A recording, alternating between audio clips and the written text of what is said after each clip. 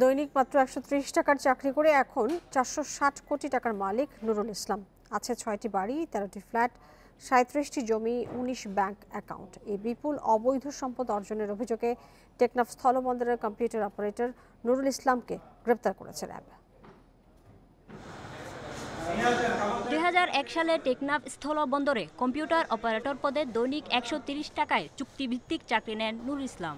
দু হাজার নয় সালে চাকরি ছেড়ে দেন তিনি। তবে নিজের আস্থাভাজন আরেকজনকে ওই পদে নিয়োগের ব্যবস্থা করেন। গড়ে তোলেন পনেরো জনের দালাল সিন্ডিকেট। নিজের অবস্থানকে কাজে লাগিয়ে চোরাকারবারি, শুল্ক ফাঁকি, অবৈধ পণ্য খালাস ও দালালির কৌশল রপ্ত করেন নুরুল ইসলাম।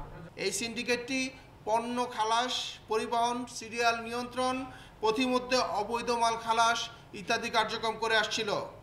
পার্শ্ববর্তী দেশ হতে কাঠ, শুটকি মাছ, বড়ইয়ের আচার, গাছ ইত্যাদির আড়ালে অবৈধ পণ্য নিয়ে আসতো।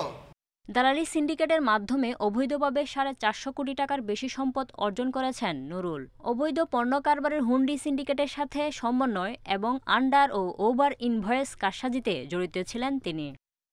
অবৈধ আয়ের উৎসকে ধামাচাপা দিতে পাঁচটি প্রতিষ্ঠান তৈরি করেন নুর ইসলাম। এছাড়া স্ত্রী সন্তান সহ পরিবারের সদস্যদের নামে রয়েছে উনিশটি ব্যাংক অ্যাকাউন্ট। গ্রেপ্তারকৃত নুরুলের ইতিমধ্যে ঢাকা শহরে ছয়টি বাড়ি ও তেরোটি প্লট রয়েছে।